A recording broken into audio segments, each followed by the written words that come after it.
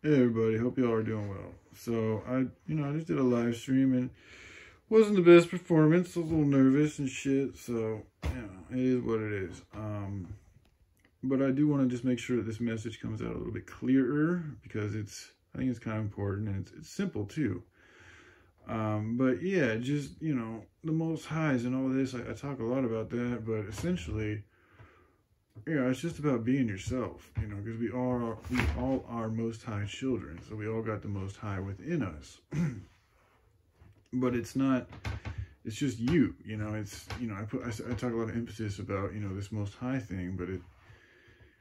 You know, even Pops told me, like, you know, I, I mentioned that, that that's the answer to everything. And he's like, well, yeah, but it's also just being you. You know, like put giving it that label does put like an extra little thing onto it that you know, isn't really necessary. It's just being you, you know, but you are Most High children. So there's a, you know, an, an etiquette that goes along with that. and here in these cities and everything, you know, it takes us away from, I mean, it, it, when I say it takes us, it, it puts us in a place to where it's easy for us to stray away from the most high way, you know, the original way, the way of love and, and not of evil and distractions and destructions and all that. so, you know, what we got going on right here is a bunch of people whom are all, you know, in, you know, essentially compartmentalized and divided into all these other little houses and, you know, segments of living and areas and dependent on a satanic system to survive.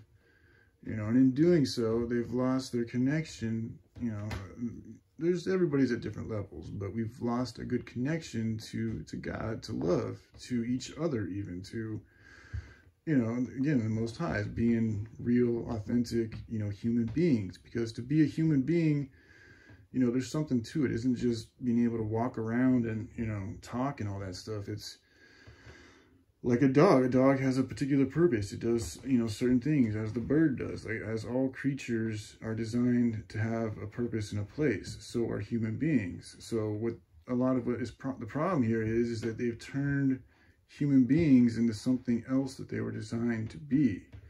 So again, it's just going back to what we originally came here to be, which is, you know, cultivators of, of life and love. And that is what we have the word of Yahushua here to help guide us.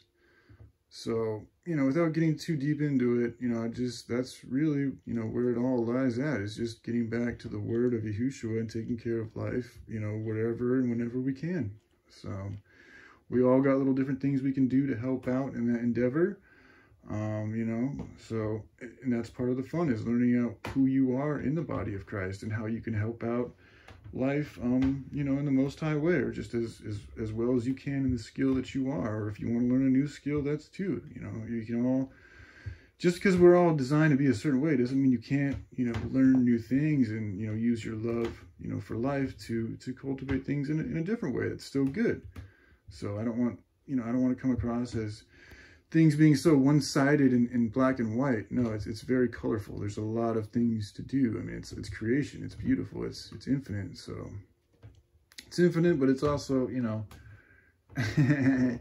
Anyways, um, I think that I got this out a little bit better this time. So you know, yeah. Hope you all are doing well. All right, love you guys. Have a good day. Bye.